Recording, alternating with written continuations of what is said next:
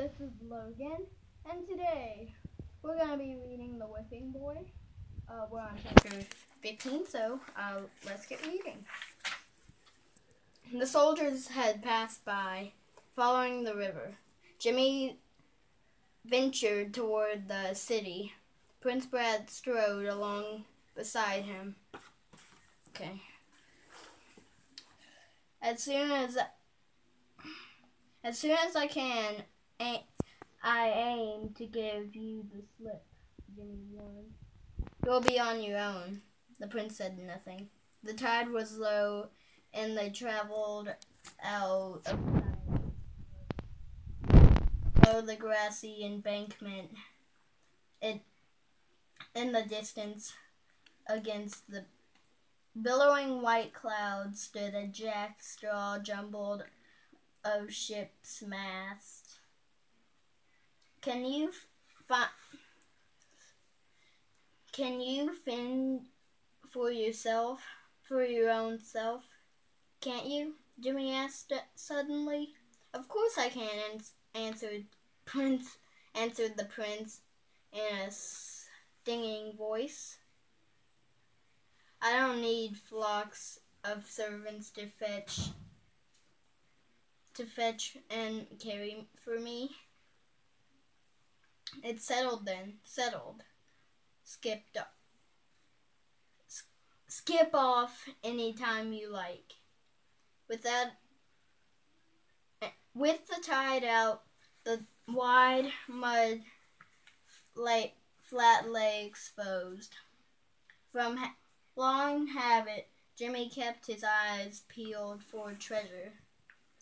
Sandpipers scattered like mice before him. Hold on, I need to get some check.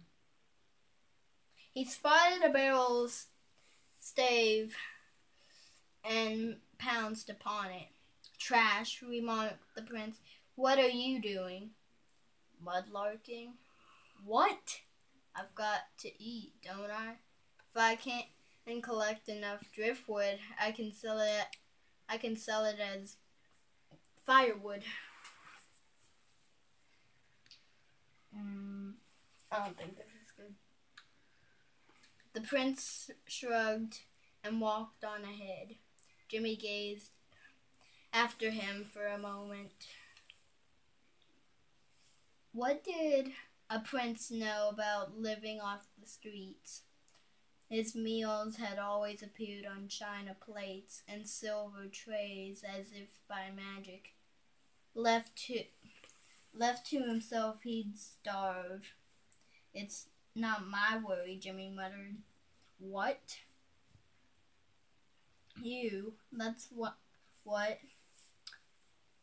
if you if you get hungry enough, you'll scramble back to the castle.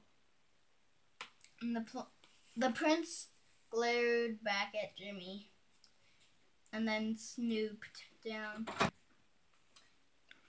The prince glared back at Jimmy then stooped down to retrieve the broken leg of a chair from the mud.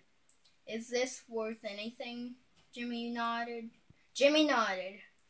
Before long, the two of them had, had collected three more barrel staves and the and the back of the chair.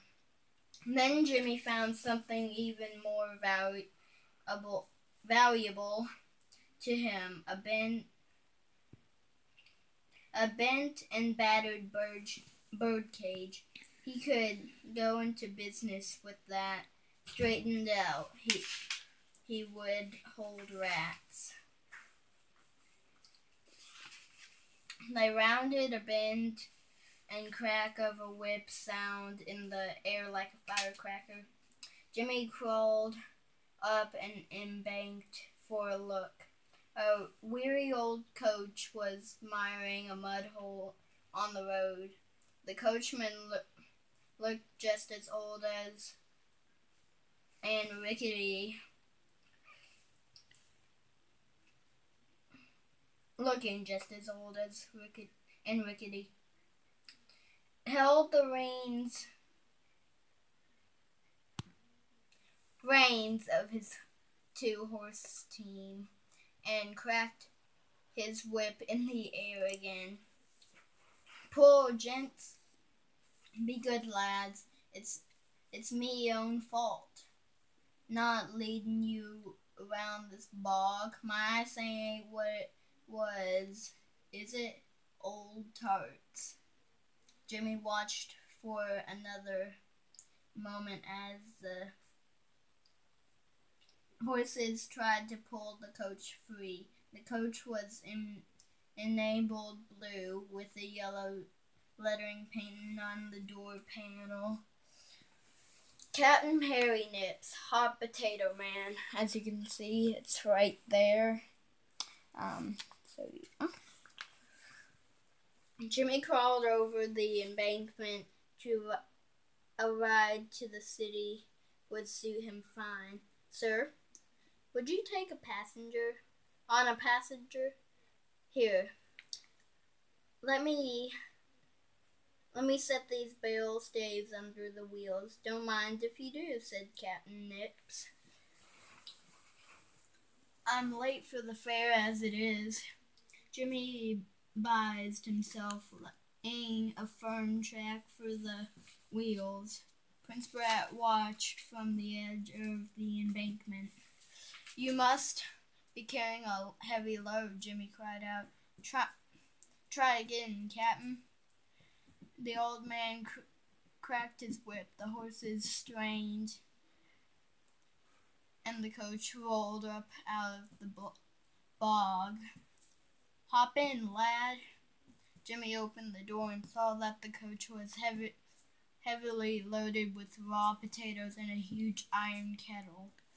Jimmy settled him as he could. The coach lured lurched, the coach lurched forward. At last, Jimmy thought, you're free of the prince. But he resisted a backward glance. Prince Brat was Prince Brat was standing in the center of the road. He dropped his load with a driftwood and merely merely gazed at the re- receding coach. Jimmy straightened, straightened, straight, straightened, yeah, and folded his arms. The prince wasn't his lookout any longer, but he'd stood, but he'd, but he'd stood there like a wounded bird blast him. A prince hat and mm, a cock a cockeyed nation notion whatever how to fend for himself. Stop, Captain, Jimmy shouted.